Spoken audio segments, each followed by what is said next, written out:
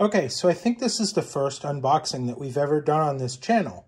And this is of a Zyxel, or I don't know exactly how you say it, 8 or 5 port managed switch, model number GS1200-5. Now, we use our the larger brother, the 8-port version of this, which actually supports two 10 gigabit Ethernet connections in our home lab here at Virtualize Everything. But I'm setting up a little bit smaller of a network for another one of my places to use over the winter. And where we're going to be doing mostly Wi-Fi throughout that entire place, this is the perfect solution for allowing us to use VLANs and manage our traffic with a pfSense router without having to have the whole home lab setup that we have here at the Virtualize Everything office. So today, I haven't yet ever done an unboxing, and I thought it might be cool to actually do an unboxing of this particular switch. As overall, I love this brand, and I find them great bargain for the price. So we're here, and this is ordered off Amazon, and it's a really nice, solid box. First impressions of the box. So opening it up, and I have cut the plastic lid off, we find the book and some directions. And if you've done with, dealt with electronics recently, you know it's actually kind of nice just to even see paper literature, as most of the time you have to download this literature. So, although it doesn't actually add to the quality, this is a nice touch. It shows the company still cares about not making you track down literature on using their product. Okay, so then we're going to actually see the switch here, and it's actually really small, nice and compact. And it's going to be really nice to check out the web interface here after we set it up. And it's also wrapped in a bag. Now, it's not a static protected bag, but this device does have a metal housing and not a plastic one. And it's actually following like even the same texture as some of the Netgear, the older Netgear switches. But if you were to pick up a managed Netgear switch, that would be far pricier than the sub $30 price of this particular managed switch. And if you don't know, managed switches allow you to use like VLAN and do some other traffic shaping, and they also can fix certain problems in themselves without you even having to look at it. So sometimes like if you get a loopback error or something like that, which if you guys know what you're doing with a network, you'll probably never get. But in certain scenarios, you can get things like that. And a managed switch will actually work through it sometimes and you won't have the problem. So it won't shut down your entire network. So moving on in the box, we have a piece of filler cardboard, but that stops the power supply, which has its own nice box. It's not just shoved in a piece of plastic and shoved in there. And inside of this, you can see the power supply is fairly nicely packed. And it's a good solid plastic case with some texture. And, you know, it's a power supply, right? But again, it feels good. It feels like it's a good quality. So I'm really looking forward to trying out this product and trying out the web. Right, so we're here at the GS1200-5 switch web interface. But before we take a look at what the interface looks like to conclude this unboxing video, let's take a look and see how we actually logged into it with this Mac, because there is some configuration that needs to be done. So the first thing that we need to know with at least my Mac is that we need an external uh, USB, not USB to Ethernet adapter that so that we can take and run an Ethernet cable to port number one. And then we plug the switch into power. So with that being said, the next thing we need to do is actually come up here to our Wi-Fi and hit this switch here and turn it off. With our Wi-Fi off, we can go to settings and then go to the networking settings and we can select our USB to Ethernet adapter just as I've done here. And then your configure IPv4 setting needs to be changed from use DHCP to manual, so we can manually assign an IP address to this computer. And because I hadn't initially opened the directions that came with this particular switch, I had originally believed the switch was at 192.168.1.1 because that's what my larger switch came configured to. So I set my system to 192.168.1.2, so I was in the same IP range as my switch. As it turns out, that didn't need to happen because my switch is actually pre-configured with an IP address of 192.168.1.3. Luckily, it wasn't .2. And here, now that we've entered that into the URL of our web browser, we're asked for a password. The default password for this switch as it comes out of the box is 1234. And then we can hit sign in. Now, we're initially asked for a password, and we're going to give it a password. And it doesn't like our password. And hit apply. All right, so here's what the switch's web interface looks like. And you can see we're talking to the switch on port number one at gigabit speeds. All right, so port configuration here. And it looks like we can set duplex or speed limiting on each of the ports, as well as flow control, which I assume flow control has something to do with QoS. Maybe we'll find that out later on, but that's kind of interesting. And here's the loop prevention or loop detection that I talked about that are features inside of most smart switches, which makes them able to solve some errors on their own. And storm control, I think this is if you are having like fault packets broadcasted over your network or whatnot, but that's kind of cool to know about. VLANs, which is what we'll be actually using this switch for. And as we found out in a previous video with one of these switches, if you're bringing in untagged traffic, we need to set the VLAN ID here for that, and then we can set tagged or untagged traffic. And you want to note here that we're pre-configured at VLAN 1. So your management web interface only comes up on VLAN 1. So if we wanted to try to log into this interface on, say, VLAN 2 for management reasons, that doesn't happen.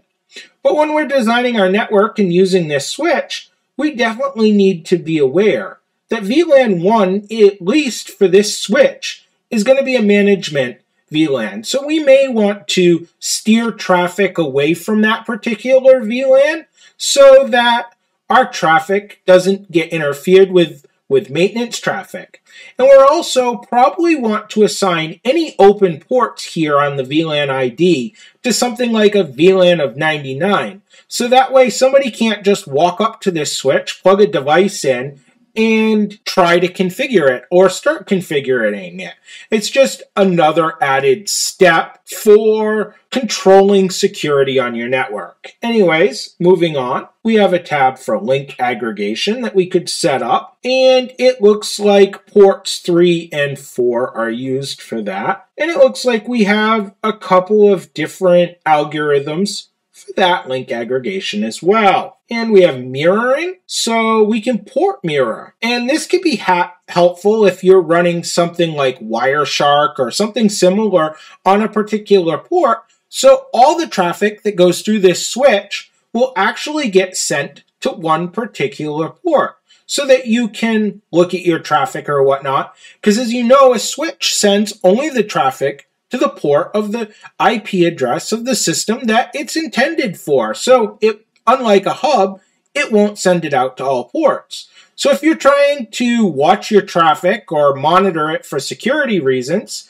and you don't have port mirroring on, then that traffic won't get sent over to your device that you're watching the traffic on. Here's QoS, which stands for quality of service. And it looks like we can set priorities via the port weight here. So we can weigh the ports as heavy or as weak as possible, and we can move them around. It's kind of interesting. I've not seen QoS set up this way. I don't think I looked at it on the bigger one, but it's probably the same. But it kind of makes sense. So at the switch level, we want to prioritize traffic from one system over another one.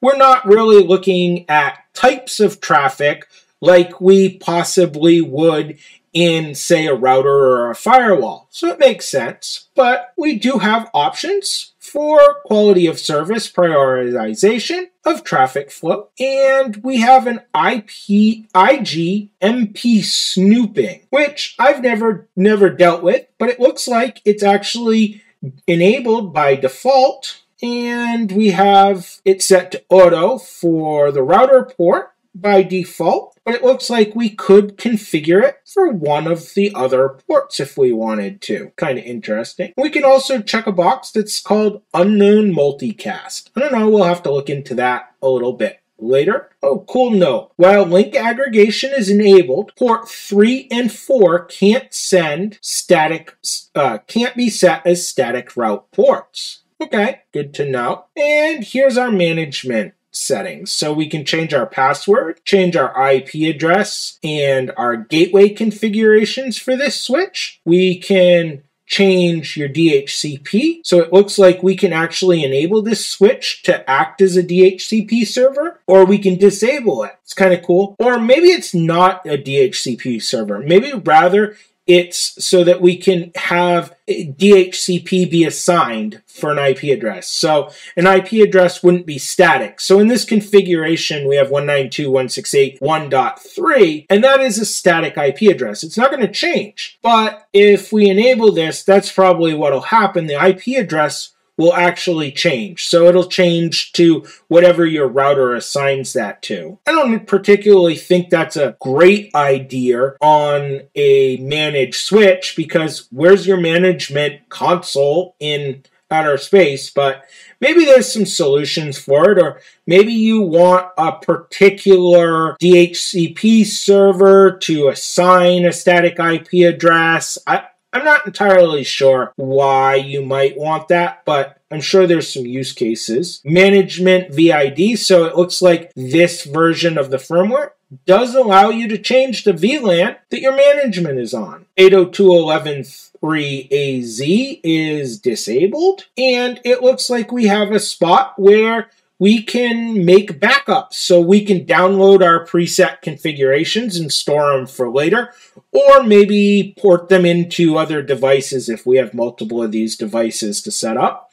And it does look like we can do a firmware upgrade. So maybe here in a few minutes, I might check in to see if we can actually upgrade this GS 1200-5 unit to a newer firmware. So with that, I think this concludes our unboxing and web interface introductory video and maybe we may add on the framework. I went ahead turn my Wi-Fi back on and I searched this particular GS1200-5 device and I, I was able to go through their website and find downloads and at our downloads section we get a bunch of information including user guides and certifications and stuff but here at firmware we can see that our newest, most up-to-date firmware version is actually 2.0 right here with the ABME.1. Not quite sure what that means, but that came out in October